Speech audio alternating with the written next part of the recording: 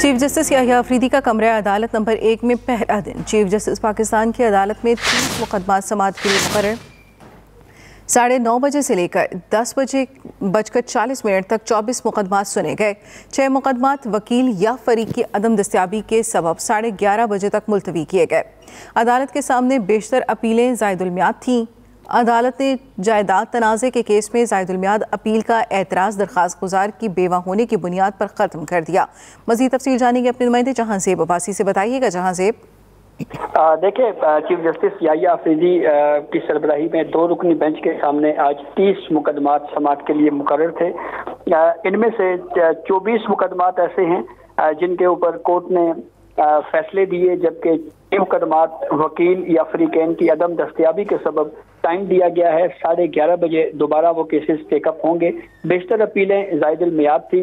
Court ने जायदाद तनाज़े के केस में जायदुल मियाद अपील का एतराज़ इस बुनियाद के ऊपर ख़त्म किया कि जो पटिशनर हैं सुप्रीम कोर्ट में, वो एक बेवा है। जस्टिस जाइया अफरीदी और जस्टिस शाहिद बिलाल हसन पर मुश्तमिल दो रुकनी बेंच ने समाज की। साढ़े ग्यारह बजे कोर्ट जो बाकी केसेज हैं, उनको टेकअप करेगी और उसके ऊपर समाप्त होगी। जी। ठीक है, जहाँ जेब साथ रहिएगा, एक और अहम खबर अपने नाजरीन तक पहुँचाएँ। Chief justice of Pakistan Yahya Afridi की जेर सदारत फुल कोर्ट इजलास आज होगा। फुल कोर्ट इजलास दिन एक बजे सुप्रीम कोर्ट में होगा। तमाम दस्याब जजेस शरीक होंगे। अहम इंतजामी फैसले मुतव हैं, जहाँ जेब बताइएगा फुल कोर्ट इजलास की तैयारियाँ मुकम्मल की जा चुकी हैं।